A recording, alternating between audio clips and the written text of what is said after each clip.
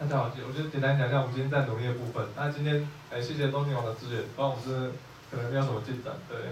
因为我我个人算是做开放资料的，不过 我对 GIS 这块比较不熟，所以我之前只有用过一些公测资料。那我们今天就是想要把那个呃天龙特工地，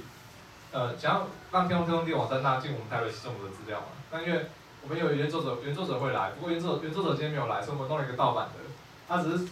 盗版的这个，因为它资料的部分我们还没有把那个资料库汇进去，因为它有些 GeoJSON 那个有些不知道它用的格式怎么样，所以还没有成功汇进去。那我们现在就是后来有把那个一些就是我们自己的地图资料，然后转成那个 GeoJSON，然后先。就是沉淀在地地图上，那它效果大概会是这样子，对，就是可以呈现出一块，那就是希望说可以把台北市的那个私有土地纳到我们的那个，呃，纳到天龙特工地网站里面去。那呃，现在的土地量可能还比较少，现在只有七笔，所以可能效果还不是很明显。那然后之后就是那个数量大了之后就会比较明显。那这个是土地的部分，然后建物的部分就是我们有去结合一些那个民政局的门牌资料，然后把它。就是也是呈现在地图上这样子，对，然后有跟我们今天带来的资料做一个结合，对，以上大概是我们今天努力的呃部分，谢谢。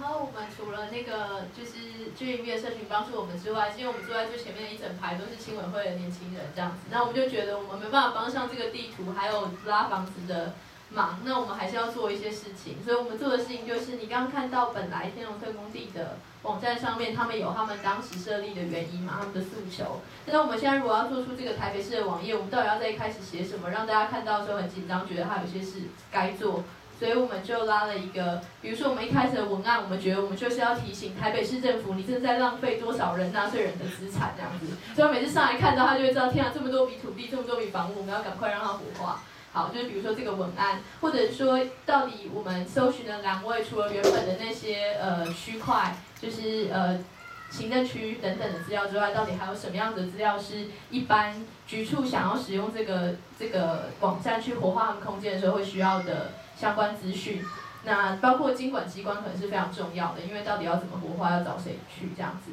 那。可能还想要知道这些呃标签的定位地啊、节目的性质等等的相关资讯，所以我们有做一些讨论。不过最重要的事情就是在这篇报告接下来呢，因为刚刚郑姐讲了，就是我们今天只带了很少笔的资料，而且现在只有财政局释出它的资料，但是我们的台北市公有的建物跟土地是站在各局处手中，所以接下来我们第一件事情一定是要逼大家把资料都开放出来这样子。所以今天只做了公有、非公用，而且是没有被占用的部分。那接下来希望把其他都纳进来，甚至如果可以有被占用而不是闲置的，我们也可以标识它的使用状况，去然后才有可能后续有更好的活化。那另外中央的位在台北市的公有的房地，我们有没有可能是下一步努力的目标？这是我们在想的。接下来第二件事情就是为什么要一定要这样开放？因为现在我们遇到最大的困境就是我们发现很多局处他可能抱着这个市场。然后做一个很低度的利用，他也没有必必要跟你说我在这样使用，然后请你来告诉我叫我活化。但是当资料全部开放的时候，我们可以透过外面的力量，我们应该要设一个区域，让你有机会照一张照片传上去，说为什么这边我在你的系统上找不到？所以表示它是低度利用的，你必须要把它开放出来。所以透过这样，希望他们就会自己承认他们用的不好。对，那除了这些之外，我们当然希望局处看到这些资料可以先来活化使用。但是再下一步是，如果公家不会用，那就让民众来用。所以那民众来用，他们想知道什么，谁可能会需要，呃，会需要使用空间。我们列了一些一些呃类型出来，那可能也会针对这些类型去思考这个网页如果还有下一步可以怎么走，以及最后去谈如果要用要怎么用，有什么集合化的机制。所以这是未来可能会做的，我们会再开小声，欢迎大家一起来参加。谢谢。